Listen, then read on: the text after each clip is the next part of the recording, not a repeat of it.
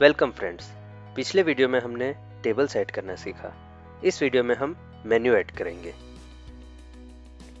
किसी भी मेन्यू के दो इंपॉर्टेंट एस्पेक्ट होते हैं। One category two items category हमारे रेस्टोरेंट मेन्यू के हेडिंग्स होते हैं, जैसे कि रोटी, सब्ज़ी सिजलर्स ब्रेड्स एक्सेट्रा और आइटम्स इन कैटेगरी हेडिंग्स के अंदर हमारे मेन्यू आइटम्स आते हैं, जैसे कि रोटी में तंदूरी रोटी, तवा रोटी, रुमाली रोटी, naan, kulcha etcetera now let us start by adding some categories तो हम इसे एग्ज़ाम्पल के सीखेंगे।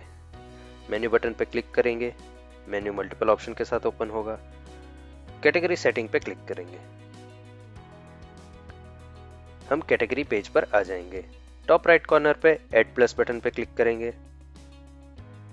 हम कैटेगरी ऐड करेंगे। जैसे कि bread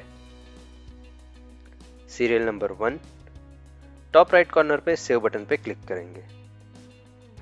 हमारी ब्रेड कैटेगरी ऐड हो गई है। इसी तरह से हम दूसरी कैटेगरी ऐड करेंगे। Top right corner add plus button पे क्लिक करेंगे। कैटेगरी नेम दाल। Serial number two.